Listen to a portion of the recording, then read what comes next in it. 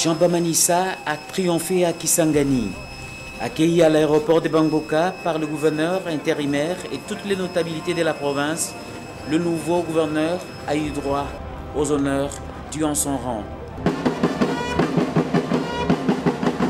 Monsieur le gouverneur de la province orientale, Excellence, le détachement d'honneur est rangé pour vous accueillir et vous rendre les honneurs à l'occasion de votre arrivée dans la ville de Kisangani, chef-lieu de la province orientale. Ici, au sortir de l'aéroport, une foule de militants et sympathisants des différentes formations politiques accueille le nouveau chef de l'exécutif provincial. Puis, les cortèges se dirigent vers le centre-ville, situé à 17 km de l'aéroport. À quelques kilomètres, le cortège s'arrête. Le nouveau gouverneur est investi du pouvoir coutumier par l'autorité traditionnelle Emma et reçoit en plus de bâtons de commandement un taureau. À l'entrée de la ville, des applaudissements, des yo-yo, des chants et danses à la gloire du nouveau gouverneur. Jamba Manissa est prié de descendre de sa jeep et continuer les parcours de plus de 3 km à pied. Nombreux sont ceux des Boyomais qui placent en lui tout leur espoir.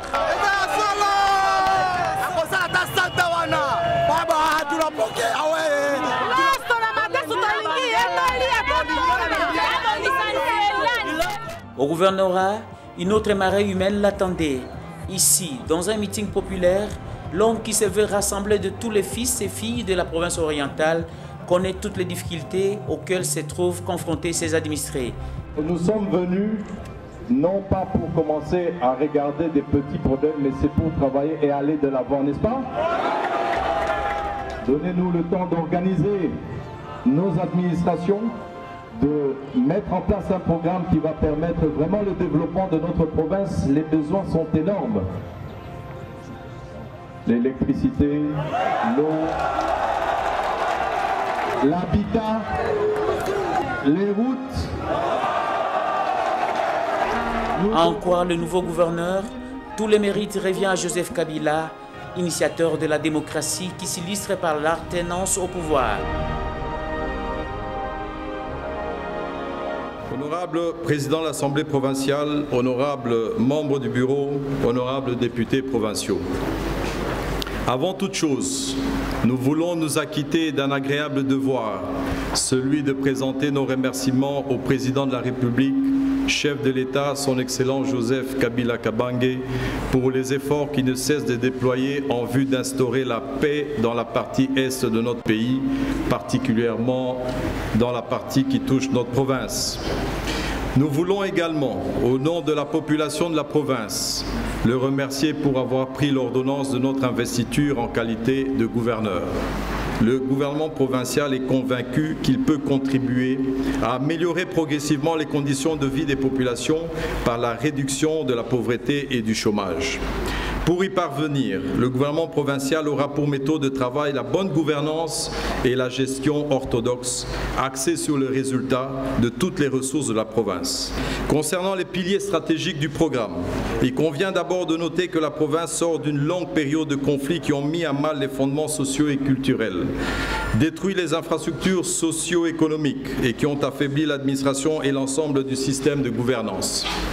Malgré toutes les ressources financières et techniques mises à sa disposition pour répondre aux besoins socio-économiques, notre province peine à décoller et le niveau de ses investissements productifs reste faible. C'est pourquoi nous avons levé l'option de nous engager dans une planification stratégique dans le cadre d'une vision de développement qui offre de nouvelles perspectives et trace une nouvelle voie répondant aux défis majeurs en vue de réaliser progressivement les objectifs fixés par le plan quinquennal 2011-2015.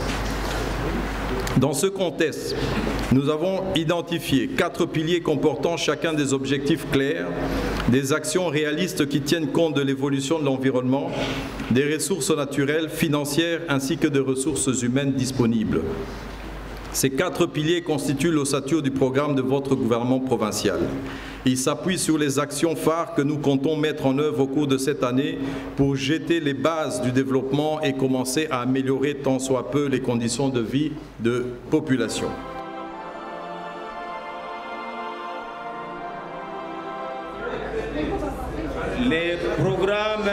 Du gouvernement de la province orientale est approuvé. L'attente a été longue, la décision est finalement tombée.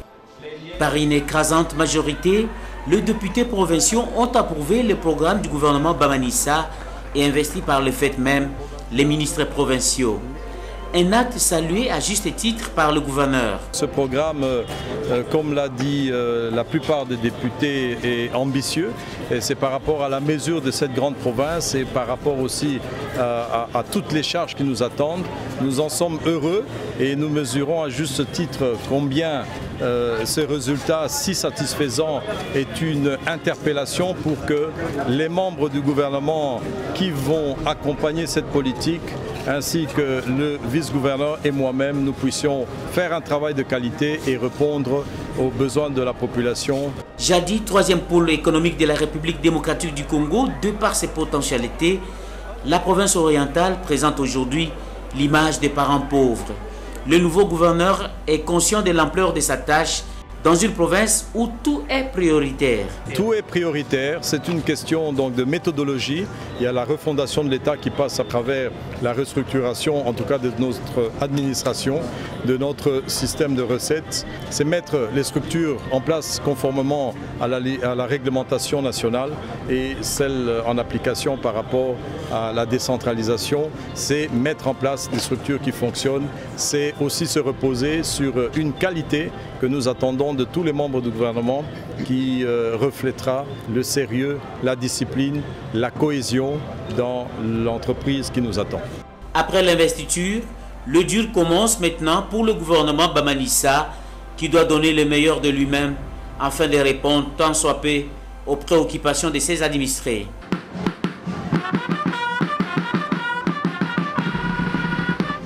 Cérémonie de prise d'armes pour présenter aux policiers, sous-officiers et gradés de la police nationale le nouveau gouverneur de la province orientale. Le commissaire divisionnaire adjoint, commandant de la police nationale province orientale, appelle ses hommes à obéir aux nouvelles autorités et ce, conformément aux prescrits de la Constitution. Officiers, sous-officiers, brigadiers, agents de police, la police nationale est une et indivisible. Vous devez obéissance et respect au gouverneur et au vice-gouverneur. Ils n'ont pas été élus pour une tribu ou une classe de gens. Ils sont au service du peuple, ils sont nets. Ainsi, la police étant neutre, à politique, nous leur devons obéissance et respect. Dans son allocution, Jabamanissa Saïdi qui a rappelé aux policiers leur rôle d'assurer la protection des populations civiles et leurs biens, les a adjoints à la discipline, au respect de la hiérarchie et surtout à mettre fin aux tracasseries. Nous vous demandons d'être exemplaires. Nous voulons que en province orientale, la population puisse être tranquille quand elle voit un policier. Nous voulons vous demander dorénavant d'être les responsables de ceux qui vont empêcher les tracasseries. Pour clore en beauté, la police des circulations routières, unité anti-émeute, police d'intervention rapide et génie des polices, y compris leurs épouses, ont défilé devant l'autorité. Jean Bamanissa s'est rendu immédiatement sur la route TP, un tronçon de 3 km de long qui relie la commune de Kabondo au centre-ville de Kisangani. Aux commandes de cet engin, le gouverneur donne le coup d'envoi du déroulement de la dernière couche d'asphaltage de cette route.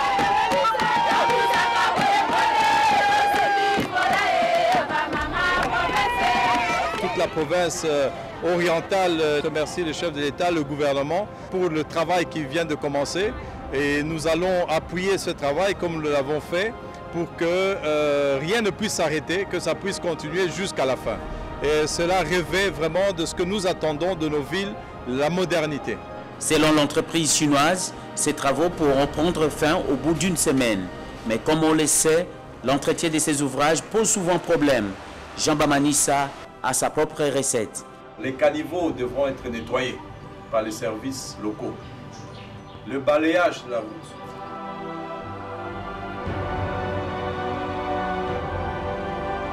Longue de 17 km, la route de Bamboka, principale artère qui relie l'aéroport au centre-ville de Kisangani, vient d'être réhabilitée en partie à la grande satisfaction des usagers qui n'ont pas tari d'éloges à l'endroit du gouverneur de province, initiateur de ces projets. Je suis très content de l'initiative du nouveau gouverneur. Cette route était totalement délabrée et abîmait nos amortisseurs.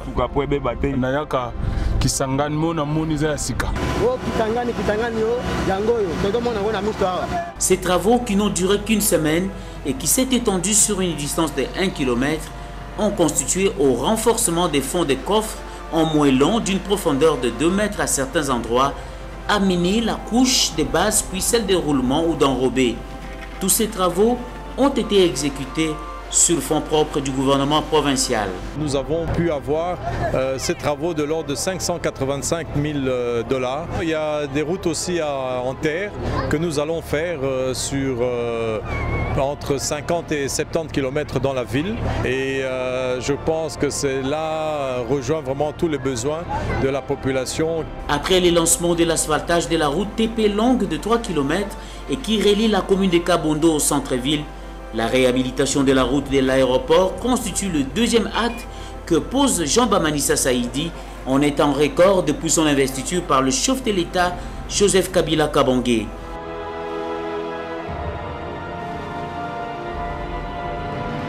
Une descente sur le terrain pour se rendre compte personnellement de la situation dans laquelle sont logés certains ministères provinciaux. Ici, au ministère des Finances, le constat est amer. Le ministre et ses collaborateurs sont logés dans des conditions qui ne leur permettent pas de donner le meilleur d'eux-mêmes. Le ministère est laissé dans un état tel qu'on ne peut même pas y travailler. C'est-à-dire qu'on n'a pas la climatisation, les, les- les- les murs sont tels qu'ils sont, sans peinture. Euh, Les bureaux qu'on utilise ne sont pas dans des états acceptables. Le même constat est fait par Jean Bamanissa Saïdi au ministère du Plan, Budget, Portefeuille et Investissement. Pas d'électricité dans certains locaux. À cela s'ajoute le problème des circuits dans le bâtiment, l'absence de matériel informatique et autres meubles pour quelques bureaux. Malgré tout, Armaka Sumbumba Yaborei se préoccupe plus du sort de ses collègues. Ma recommandation auprès de son Excellence, Monsieur le gouverneur de province, était de porter beaucoup plus d'attention aux autres ministères qui n'ont pas grand-chose et à la fin de s'occuper de mon ministère. Je pense que euh, parmi, si nous devons comparer avec les autres ministères, je suis un des mieux lotis et il vaut mieux, s'il n'y a pas beaucoup d'argent, mettre l'accent pour aider les autres plutôt que de m'aider. Le ministre des Ressources naturelles et son collègue des ITPR, ne pouvant travailler au bâtiment de la poste, ont été délocalisés. Le premier est hébergé dans un petit bureau avec des chaises en bois au ministère du Plan, tandis que le second, lui, a élu domicile dans un hôtel de la place, en attendant que les travaux de réhabilitation des bâtiments TP qui ont commencé arrivent à leur fin. Pour son premier acte, la première dame de la province orientale l'a consacré à la visite de certaines formations médicales de la ville de Kisangani. Du centre médical à Loalid, en passant par les hôpitaux de référence de Mangobo, de la Tiopo, de Kabondo et du centre de santé Konga Konga, Caroline Bamanissa a palpé les réalités de ces formations médicales. Partout, les constats sont amers. Je me rends compte qu'il y a du travail quand même hein, pour certains centres de santé qui vont demander euh, plus d'appui que d'autres. Il y a des centres de santé qui sont peut-être déjà euh, avec partenaires. Bon, on va essayer de voir comment on peut s'organiser pour les aider. En bonne mère de famille, elle a remis quelques matelas à certains hôpitaux et surtout payé les frais de maternité à toutes les accouchées et les frais d'hospitalisation aux malades insolvables. Un geste que les heureux bénéficiaires apprécient à sa juste valeur. Oh, regarde Tu vois? Nasengi merci epa mama mpo asaleli biso faveur kitoko ya kofutela biso mbongo acte asali mpona biso bamaladi tozwami awa mingi tozangi possibilité me ye aye ko- koakite na biso na problème wana ntuka toremercie yango mingi nzambe apambola bango mingi Au centre médical à Loalid, une fille de 3 mois et une autre de 3 ans ont été respectivement violées par l'oncle maternel et les voisins du quartier. Une situation que le pouce du gouverneur de la province orientale a condamné vivement.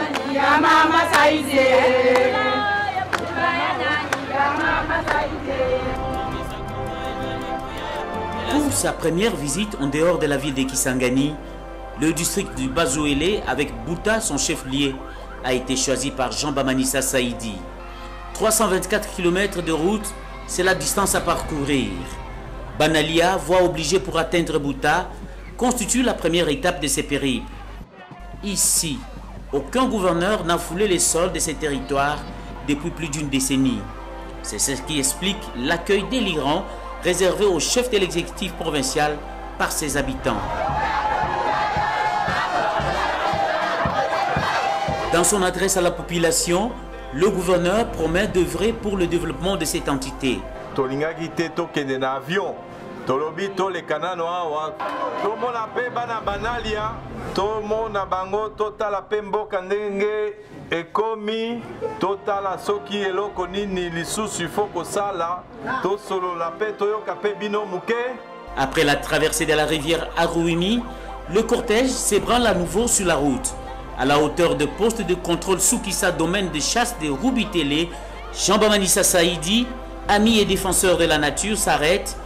et fustige les braconnages qui détruisent la faune. awa mpe toka kopesa réglementation motu oyo alingi akende koboma nyama ekoyebana koboma boni na espèce nini mpe akoki oboma Dans certains villages, le cortège avait du mal à frayer son passage.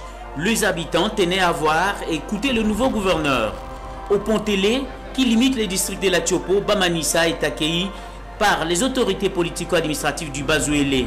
À 15 km de l'entrée de la cité de Bouta, le gouverneur pose un acte haute portée pour les populations du Bazouélé. Il inaugure un pont long de 15 mètres pour une capacité de 30 tonnes jeté sur la rivière Yémé.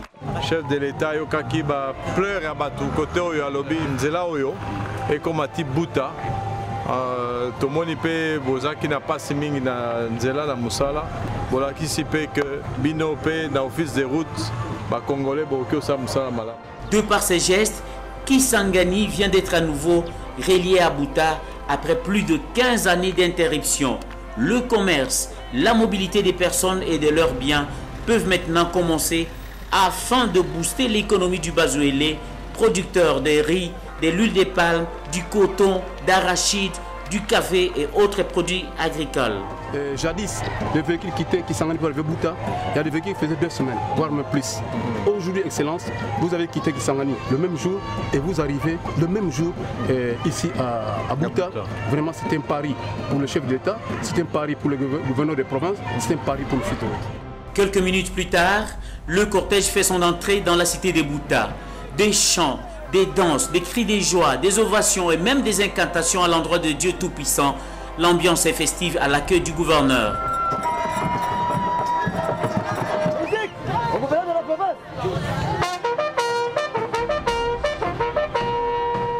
Le chef de l'exécutif provincial passe les troupes en revue avant de saluer les notabilités de la contrée rangées pour la circonstance. Ici, Jean Bamanissa Saïdi est obligé de faire la marche. Tout le long de son parcours, hommes, femmes, jeunes et vieux, militants et sympathisants des formations politiques accourent pour voir le nouveau gouverneur. Sur des banderoles et calicots, des messages de bienvenue à l'hôte du jour et surtout du soutien au chef de l'État, Joseph Kabila Kabangué. Dans le Bazouélé, comme l'on peut le constater, la révolution de la modernité est plus qu'une réalité. Jean Bamanissa, qui incarne la vision du chef de l'État et joue pleinement son rôle de relais du programme du gouvernement national, donne ici le coup d'envoi des travaux de réhabilitation de la route Boutadoulia, longue de 75 km. La route va certainement désenclaver encore plus cette partie pour le bienfait de toute la population, permettre à ce qu'il y ait une appropriation par les opérateurs économiques, la population, où on aura des échanges agricoles, des échanges aussi euh, commerciaux, les mines, parce qu'il y a beaucoup de minerais aussi qui sortent par ici. Nous pensons que Bouta peut recouvrer sa place, qui est une plateforme euh, très importante au niveau de la logistique, au niveau euh, de l'économie, au niveau du commerce, au niveau de l'agriculture, au niveau du transport. Cet axe qui ouvre la voie vers le nord fait partie de la route transafricaine qui va de Bondo pour déboucher vers la République centrafricaine voisine. À en croire l'ingénieur de l'Office des routes, ces travaux sont prévus pour une courte durée. Les travaux d'ouverture, dans un premier temps, on peut prendre 4 mois. Et avec les travaux de consolidation, on peut aller jusqu'à 6 mois. Le deuxième jour de sa visite, Jabba Manissa le réserve à la ronde de différents sites qui constituent les préoccupations majeures des habitants de Bouta. La régie des eaux, la SNEL, le chemin de fer des Ouélés, les bâtiments administratifs, l'hôpital général, le stade, l'ISP, l'aéroport. Le constat est amer. Les trois premières entreprises sont non seulement dans un état de délabrement le plus avancé, mais ont cessé de fonctionner depuis plus d'une décennie. buta pasi bamama na bana kokumbaka mai tokotala bateknike ezali. Mpona kosala bapui kosala batanke na bapompe ezala par quartier. Makambo ya minene ezali na courant. Soki courant eza te mboka ekokende liboso te. Totali mpe totamboli na mai ya makala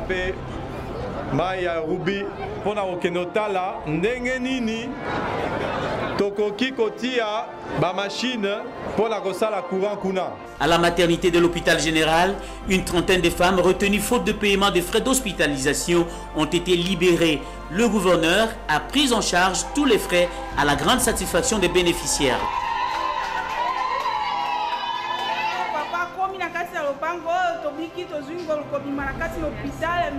Merci topesi merci mingi. Nazangaki mbango mpona kokuta hôpital. Mpona bima mbango akomi alibere ngai na kati na karton nazalaki nango Dans un meeting populaire, le gouverneur n'a pas manqué de fustiger les comportements des agents commis au service de l'État qui tracassent les populations. Pour redynamiser et renforcer les capacités d'opérationnalisation de la police nationale et des territoriaux, deux véhicules 4x4, dont du gouvernement national, leur ont été remis au nom du chef de l'État congolais.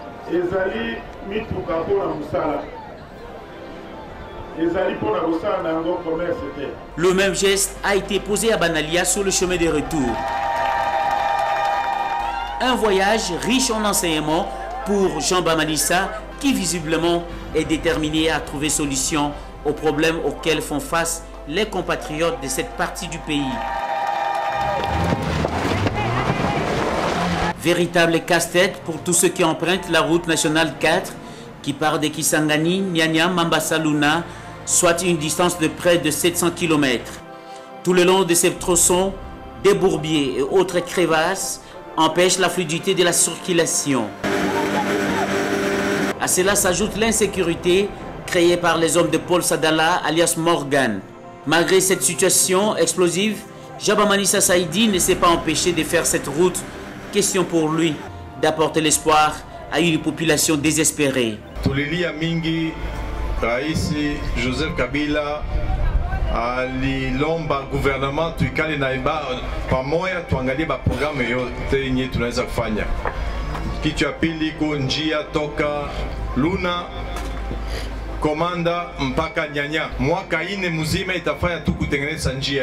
Au mauvais état de route s'ajoute également le problème des ponts. Ces derniers qui ploient sous le poids de l'âge ne supportent plus les chargements au-delà des tonnes requises. C'est le cas de ces ponts jetés sur la rivière Loya qui s'est écroulé depuis le 27 mars dernier. Il n'y a pas à s'inquiéter. Pour le moment, c'est un dépannage. Donc, on va remettre ce pont Bélé et bientôt, il y aura un pont euh, Mabé compact descend. En attendant, le sort de plus de 2000 passagers, dont quelques bébés qui passent nuit à la Belle Étoile, est suspendu à ces travaux de réhabilitation. tozata bien Jabamanissa Saïdi n'a pas échappé non plus au sort réservé à tous ceux qui empruntent cette voie. À plusieurs fois, le véhicule de son cortège sont restés terrés dans des bourbiers pendant de longues heures. De Mambasa Centre, en passant par Komanda, au poste d'encadrement administratif de Nyanya et Bafasende, partout où il est passé, c'est une marée humaine mobilisée comme un seul homme qui est venue à l'écoute de Jean Bamanissa Saïdi. Et cette foule d'exploser à chaque fois que le chef de l'exécutif provincial touche à ses préoccupations majeures.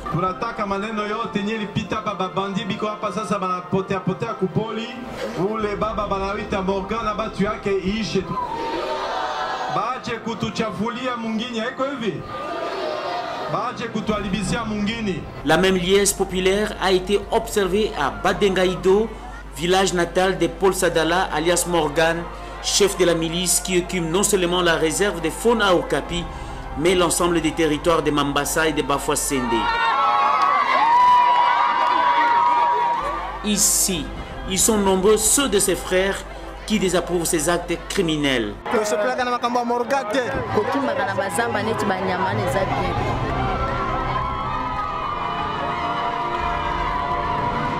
Jean-Bamanissa Saïdi a triomphé dans le Haut-Ouélé et en Itori.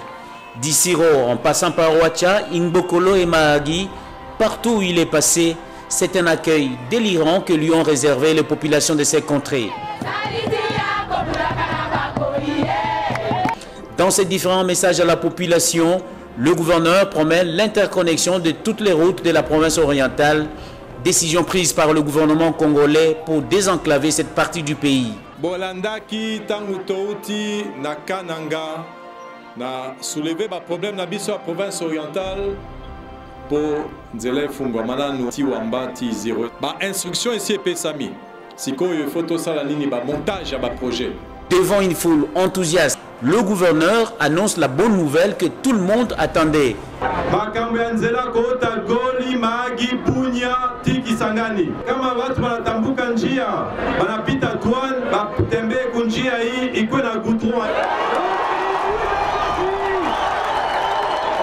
Le chef de l'État qui a instruit le gouvernement de faire de la province orientale un modèle de développement accéléré, affirme Jean-Bamanissa Saïdi, tient à la matérialisation effective de tous ces projets capables de booster l'économie de cette partie du territoire national. Ça vous paye un, c'est pour 4 jours à la maison. Faire de la province orientale le grenier agricole de la République démocratique du Congo, c'est l'objectif que s'est assigné Jean-Bamanissa Saïdi. Dans cette ferme privée dénommée Avitori, le gouverneur est venu encourager ses compatriotes qui, en l'espace d'une année, a obtenu des résultats au-delà de ses prévisions. Les moutons donnent deux fois sur l'année, il y en a qui donnent deux, il y en a qui donnent trois et c'est vite parti. Le maïs, euh, il vient de notre champ. D'habitude, on fait entre 100 et 120 tonnes chaque saison et ça fait partie de notre stock stratégique. Quand il n'y a vraiment rien, on tombe dessus, mais aussi longtemps qu'on s'est ramassé à gauche, à droite, on s'est content de ce qu'on peut trouver sur le marché localement. Agriculture, priorité des priorités, le gouverneur n'en fait pas qu'un simple slogan. Il prêche par l'exemple. C'est le cas ici dans sa ferme située dans la périphérie de la cité de Bounia, où il s'adonne lui-même au travail de la terre et promet d'apporter son appui à quelques initiatives privées. 10 000 poules pondeuses, euh, ça fait autant d'œufs. Et euh, cela nous permet de ne plus importer des œufs. Donc les tracteurs peuvent euh, lui être attribués. Euh, il faudrait que nous puissions voir, peut-être qu'il faudrait une chambre froide pour la conservation. Pourquoi pas demain passer à la fabrication de mayonnaise? Vous voyez, il y a beaucoup de choses qui doivent être pensées avec des gens qui ont des initiatives. Des scènes de liesses populaires, des cris de joie, l'ambiance est festive à l'arrivée des gens dans Anissa Saïdi à Pandroma. Aucun gouverneur n'a foulé le sol de ces coins depuis 1999, date du déclenchement du conflit interethnique. Ici, il est malheureusement fait état de la résurgence de l'insécurité. Les secteurs de Walendou-Bindi ont détient les tristes records. 30 cas d'assassinats sont signalés depuis le début de cette année.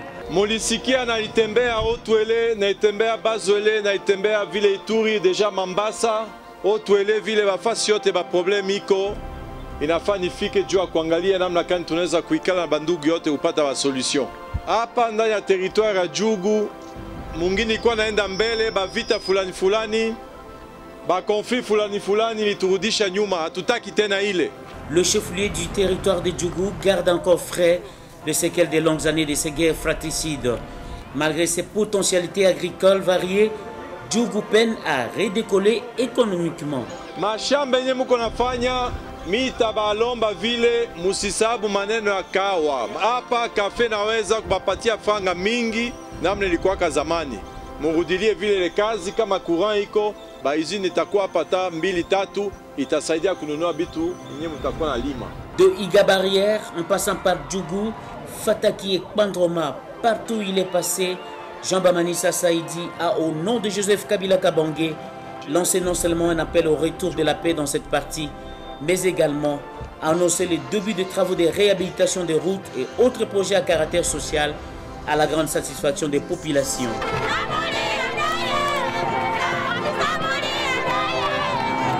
Entrée triomphante de Jean Bamanissa Saïdi à Mungwalu. À son arrivée, le gouverneur a été aussitôt pris en charge par une marée humaine qui l'a rencontré à la marche, ni à la procession depuis l'entrée de la cité jusqu'au lieu prévu pour le meeting, soit une distance de 2 km. Mungwalu, cette cité minière, est en but à de sérieux problèmes. Pour mongwalu ekufa lobi te ifo tozongela makambo etali urbanisation ya mboka bandeko leta bokata balupango neti esengami mpo bandako ekoki ozala boye te wana ezali mobulu wana eza koboma mboka Face à cette situation, Bamanissa Saïdi dispose de sa thérapie. Le gouverneur de la province orientale mise sur le major dans les secteurs miniers comme solution au développement économico-social des populations. tolingi nokinoki bausine ezala awa courant ezala awa wana wana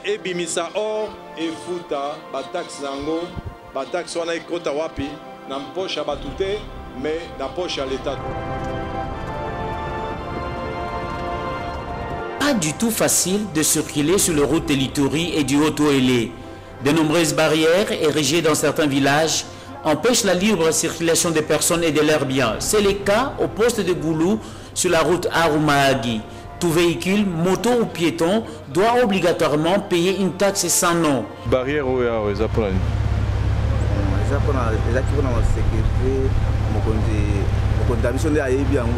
Comme taxe ici, nous recevons ces 4000 shillings ougandaises. Le même constat est fait au niveau du village Simbi, à quelques kilomètres du groupement Rona. Ici, deux jeunes gens prétendant travailler pour le compte du ministère des Transports et Voies de Communication obligent à tout engin roulant le paiement d'une taxe en monnaie étrangère. Jean Bamanissa Saïdi dénonce ces comportements et exige la levée immédiate de toutes ces barrières à la grande satisfaction des usagers. tracasserie esila esila esila na baaéroport esila na banzela esila na baport esila esika nyonso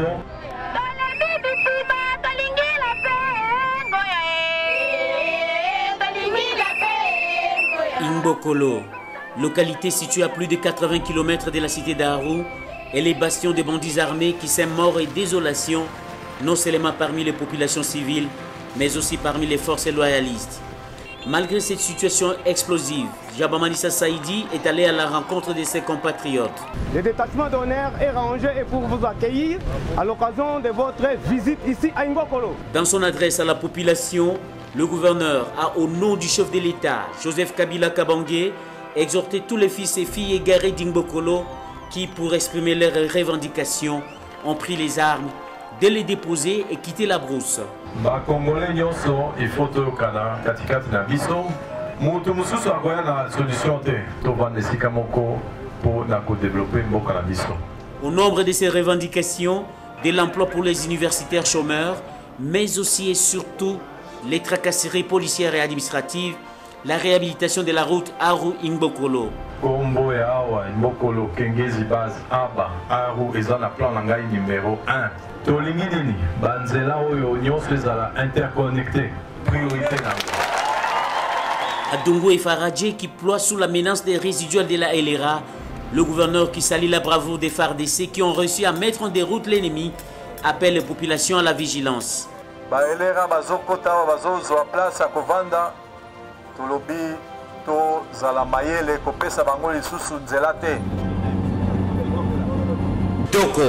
localité située à quelques encablures de la cité de Ouacha, regorge une des grandes mines d'or à ciel ouvert au monde. Sur ce site de 1800 km, Kibali Gold Project est riche une installation de traitement qui pourra produire 17 tonnes d'or par an.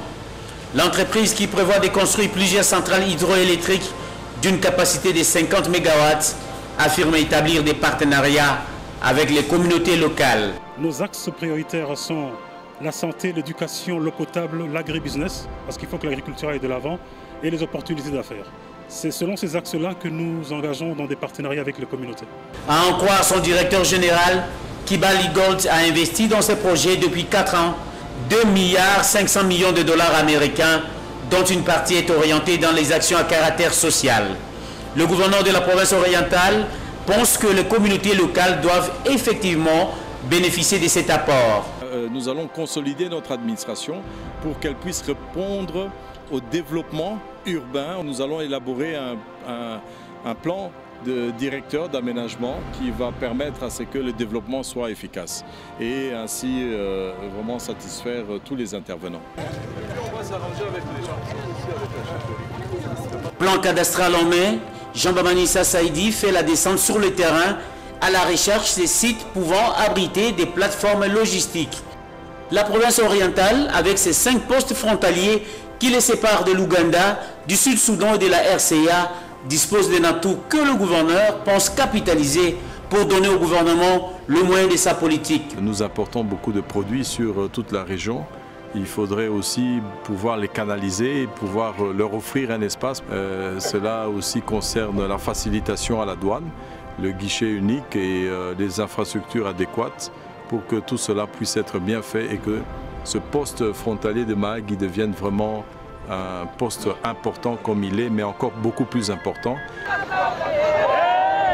C'est une centrale hydroélectrique dont la puissance est augmentée de 13 à 20 MW avec le renouvellement du groupe 1 des ouvrages hydromécaniques et électromécaniques que le ministre belge de la coopération au développement a inauguré ce vendredi avant de la remettre aux autorités congolaises. Au nom de ses administrés, le gouverneur de la province orientale, Jabamanissa Saïdi, remercie le chef de l'État, Joseph Kabila Kabange, pour l'initiative qui vient de bénéficier de l'appui de la Belgique. L'autorité provinciale appelle la population au civisme fiscal quant au paiement des factures de consommation de l'électricité. Nous appelons au civisme de chacun afin de permettre à la SNEL de s'acquitter efficacement de ses engagements auprès de ses abonnés et d'assurer convenablement la maintenance et la fiabilité de ses installations. Ce n'est qu'à ce prix seul que la SNEL Kisangani pourra rentabiliser la centrale hydroélectrique de la Chopo 1 et ses installations au profit de la population, attirer ainsi des investisseurs dans la ville de Kisangani. Pour sa part, le ministre belge de la coopération au développement souhaite qu'une bonne partie des recettes à réaliser soit affectée à la maintenance des matériels, le souci étant de donner à la SNEL le moyen de sa politique. Jean-Bamanissa Saïdi est allé personnellement donner le coup d'envoi de la campagne agricole dans l'une de ses fermes située sur la route de l'aéroport de Bangboka. À son arrivée, il a été accueilli par une foule en délire.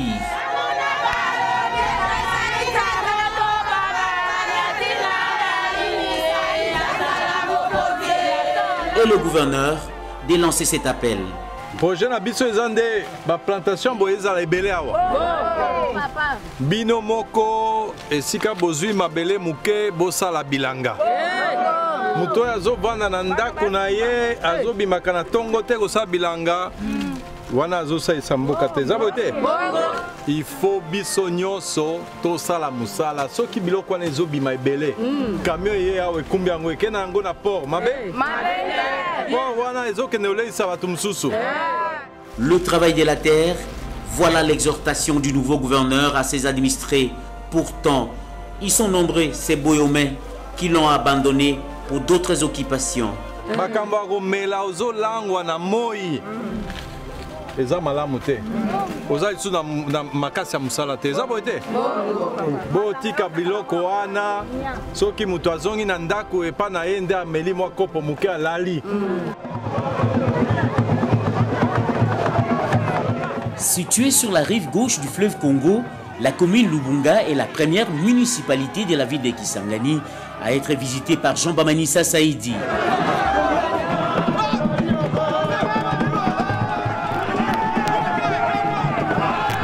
Aussitôt, le cortège s'ébranle sur la route, destination le centre pénitentiaire des Ossio, situé à 16 km de cette commune urbano-rurale. Tout le long du parcours, des concerts d'applaudissements et des yo-yo pour saluer l'arrivée du gouverneur. À plusieurs endroits, le cortège a du mal à frayer son passage. Après une heure de route, la délégation fait son entrée dans les installations de la prison d'Ossio, un géant complexe de 800 mètres carrés en état de délabrement le plus avancé. Jean-Bamanissa Saïdi commence sa visite par le bloc cellulaire où sont détenus des criminels et autres bandits des grands chemins. La population carcérale est constituée de 191 âmes, civiles et militaires confondus. Ici, pas d'eau, pas d'électricité, pas de lit, encore moins de matelas. La présence du gouverneur booste le moral des détenus et leur offre l'occasion de présenter leurs desiderata. visiteur na biso soki azoya il faut baoblige 2000 francs. Soki eza te akozonga na biloko. Mpo na nazanga carte militaire nasali 21 mois nazwaka mbongo te. Mais c'est le gouverneur tozosouffrir La visite du gouverneur s'inscrit justement dans ces cadres, faire l'état des lieux de la situation pour une solution durable. makambo oza na kati na yango eza justine nde ayebi yango mais moral ekweya te toyei kotala situation boza na kati na yango mpona kotala eloko nini gouvernement provincial mpe akoki osala Dans un autre compartiment appelé bloc définitif, les prisonniers sont en semi-liberté. Après plusieurs années de détention, on a réussi à les domestiquer. Le plus vieux de tous ces pensionnaires est ce capitaine de l'armée qui répond au nom de Ndolo Bilali. L'officier avoue être né le 15 janvier 1928 et purge sa peine à perpétuité.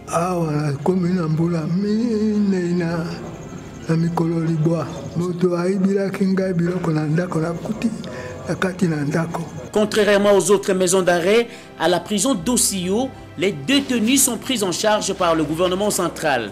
16 millions de francs congolais sont disponibilisés chaque trimestre pour leurs repas. En outre, les pensionnaires reçoivent des premiers soins en cas de maladie. Si je, je vois un cas de, de- de produits injectables, je vais comme l'ordonnance, on achète, on traite. Véritable calvaire pour tout camionneur qui emprunte la route Lubunga aussi au Opala. Jean Bamanissa Saïdi en a fait les tristes constats sur son chemin de retour au point kilométrique 8 où les militaires commis à ses postes s'illustrent au rançonnement des paisibles citoyens. awa eza okoya opesi karte atali karte asengi susu yo mbongo oyo mutu kokopesa 5000 francs oyo boye oye na taba omemi 5 taba shake taba bazokatela yango mpe ofuti nde oleki soki ofuti te okoleka te Le gouverneur exige la levée de cette barrière. À l'école primaire Salela, l'établissement fonctionne à 50% de ses capacités à la suite des pluies diluviennes qui ont écorché ses toitures voici deux années. Un don en tôle et en argent ont été remis par Jean Bamanissa Saïdi pour sa réhabilitation à la grande satisfaction des bénéficiaires. Un sentiment déjà parce qu'on était vraiment tellement mouillés avec les enfants ici. Il n'y avait pas moyen de fonctionner. Alors nous sommes très contents comme le gouverneur vient d'agir euh, à notre présence ici. Confronté aux sérieux problèmes d'eau et d'électricité, le gouverneur qui s'était fait accompagner dans ses déplacements des responsables de ces régies est allé visiter non seulement le centre de captage d'eau, mais aussi les installations de la SNEL de la commune Lubunga. Le courant 24 heures sur 24 heures, la régie des eaux va pomper au réseau de l'eau 24 heures sur 24 heures. Bon, un autre problème supplémentaire, c'est la réhabilitation du château d'eau. L'hôpital général des références n'a pas non plus été oublié. Outre la ronde effectuée dans tous ces compartiments où il a constaté le manque et la vétusté de matériel existant, Jean Bamanissa Saïdi a payé les frais de la maternité de toutes les femmes qui ont accouché par césarienne et supporté les frais d'hospitalisation de tous les enfants internés à la pédiatrie.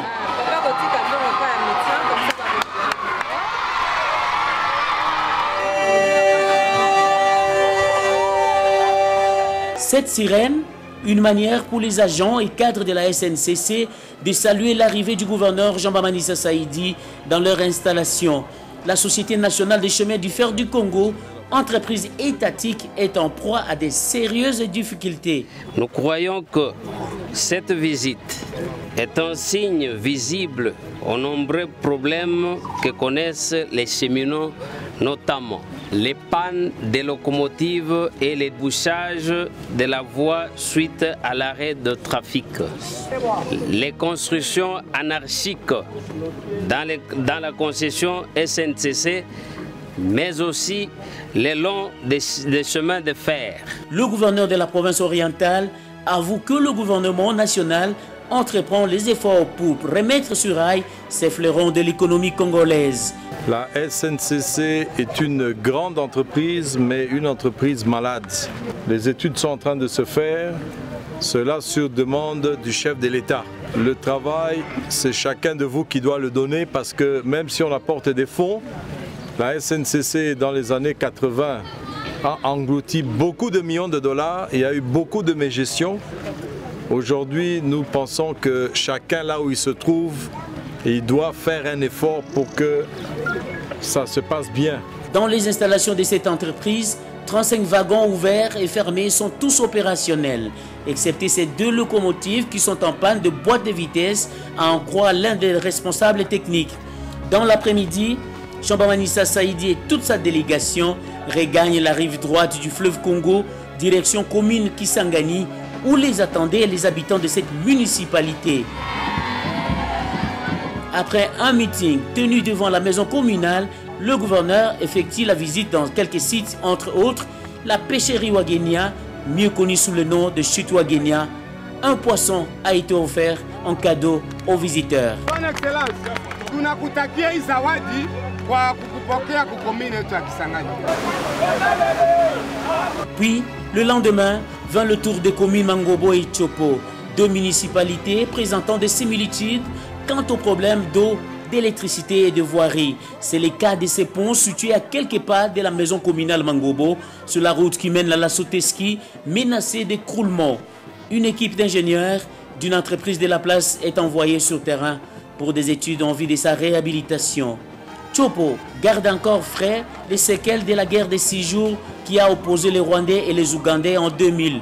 Avec une population estimée à près de 200 000 âmes, la commune dispose d'un hôpital général de référence de faible capacité d'accueil, soit 23 lycées Léman.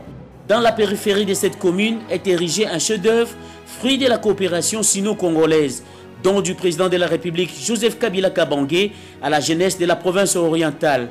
Un bijou que Jean Bamanissa Saïdi appelle de tous ses voeux à sa protection. Avec peu de choses, il faut déjà qu'on puisse les gérer valablement pour que lorsqu'il y aura des gros investissements, on puisse être certain que les différents acteurs vont pouvoir les garder dans un état correct, convenable. À Kabondo, l'ambiance a été plus que festive. À en croire le bourgmestre de cette municipalité, Jean-Baranissa Saïdi est le premier gouverneur à fouler le sol de sa juridiction depuis l'avènement de la Troisième République. Pris par l'euphorie, hommes, femmes, jeunes, vieux, vendeurs et vendeuses de marché ont tout abandonné pour accompagner le gouverneur dans sa visite. À l'hôpital de Kabondo, pas d'eau, pas d'électricité depuis 2007, comme le témoignent ces refrains entonnés en chœur par les gardes malades. Ici, l'urgence s'impose et Jean-Bamanissa Saïdi n'a pas hésité un seul instant. Vraiment, le gouvernement provincial va s'atteler à résoudre le problème de l'eau qui paiement des anciennes factures. Euh, il est vrai que Riche des Eaux est une société commerciale, donc euh, il faut qu'elle puisse être payée pour pouvoir euh, livrer un bon service. Nous allons intervenir pour ce cas. Kabondo, c'est également sa cohorte des gangsters qui perturbent l'ordre public.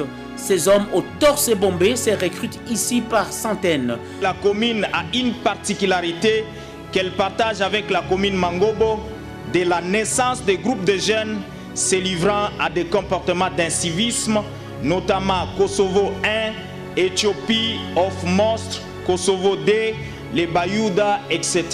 hii maneno ya, ku, ya bajina ya fasi yenye ilikuwa mavita ile bakosovo eske mtu alifika kuona vita ya kosovo? Batu balikufa kule mingi. Ile bajina ile bakosovo bayuda au baethiopie au basomali mwache ile jina mukawate jina ingine. Tukamatane mikono kwa mikono bachangement ya mentalite ekuwe. Ile jina bagrupe ile yache ile itafute njo ingine. Kama biko na besoin ya yembe tutabapatia yembe baende kufanya shamba. Makiso, la dernière commune à être visitée par Jean Bamanissa Saïdi, réputé miroir de la province orientale, elle n'échappe pas non plus à certaines difficultés, à l'instar des autres municipalités. Nous demandons l'assainissement de tous les espaces de la commune Makiso, de tous les groupes de malfaiteurs en vue de favoriser un meilleur climat des affaires. Et pour boucler la boucle, un meeting populaire est organisé devant le bâtiment de l'hôtel de ville. Le maire de la ville est convaincu que, de par ses visites, le gouverneur dispose des tableaux de bord de la ville à l'instar des autres districts de la province. Vous avez vu, vous avez attendu, vous avez palpé du doigt la réalité profonde de la ville de Kisangani. Partout là où nous sommes passés, votre présence a résolu un certain nombre de problèmes d'ordre sécuritaire, infrastructurel, social et humanitaire. Votre tournée a permis aux Boyomais et Boyomais de savourer ce qu'on qualifie d'un avagou en leur expliquant les biens fondés de la décentralisation. À tous ces problèmes, quelques-uns ont immédiatement trouvé solution, d'autres sont en voie de lettres, d'autres encore sont renvoyés pour étude en vue d'une solution durable. Nous remercions le chef de l'État pour nous avoir donné l'occasion de commencer à travailler, avoir signé notre ordonnance. Ce travail-là s'inscrit dans la ligne de vision du chef de l'État, le programme national qui a été fait par le gouvernement dirigé par le Premier ministre Augustin Matata Pogno et le programme provincial que nous avons mis en place suivant les capacités que nous avons et suivant les possibilités que nous avons. Dans tous nos districts, dans tous nos territoires, dans nos communes, nous voulons que l'État puisse exister. Pour cela, nous avons besoin d'une administration qui puisse fonctionner.